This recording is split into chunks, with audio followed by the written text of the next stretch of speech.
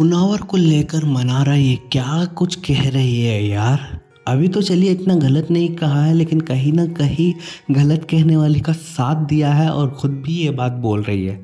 सना खान काफ़ी ज़्यादा गुस्सा है अंकिता पर बिकॉज़ सना का कहना है कि दिमाग में बार बार आ रही है अंकिता, उसका पति है तो ऐसा जता रही है कि वो भी दिमाग चलाने लगी है कि मेरा है, मैं ही सब करवाऊँगी हाँ ऐसी हरकतें कर रही है।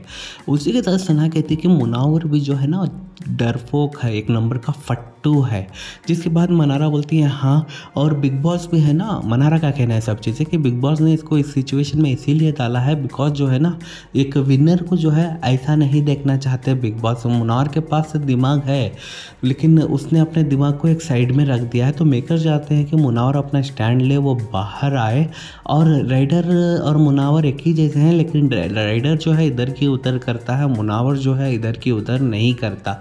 बस एक ही डिफरेंट है इन दोनों में। और जो मनारा है उसका कहना है कि मुनावर को जो है स्टैंड लेना होगा और मुनावर को जो है अपने लिए खड़ा होना होगा।